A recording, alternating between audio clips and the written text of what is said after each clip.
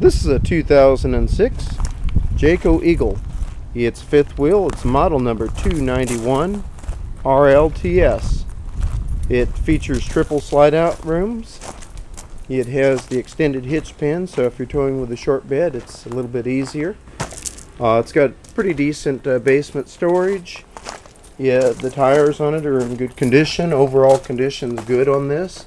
It hasn't been smoked in or had any kind of uh, uh, serious issues. Um, it's got the spare tire, nice big rear window. It's very clean for an 06. We're very particular about what we buy, take on consignment, get as a trade-in. Um,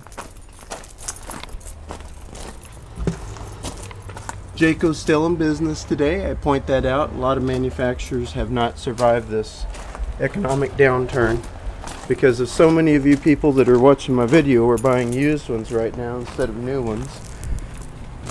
I don't know why. You just want to save half, buy one a good used one for less than half of new.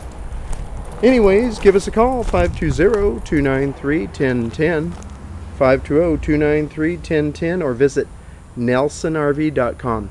That's www.nelsonrv.com. We're in Tucson, Arizona at 4060 North Flowing Wells Road. Thanks.